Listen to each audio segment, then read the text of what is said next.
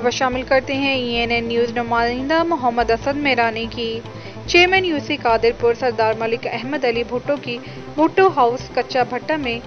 जाम वज़ीर अहमद वासा, हाजी तस्लीम अहमद अराइन, जाम रफीक अहमद धांदो जहूर अहमद ऐवान, साबिर हुसैन शाह, तुफैल अहमद शाह, जाम रबनवाल झक, मास्टर फजल इलाही झक,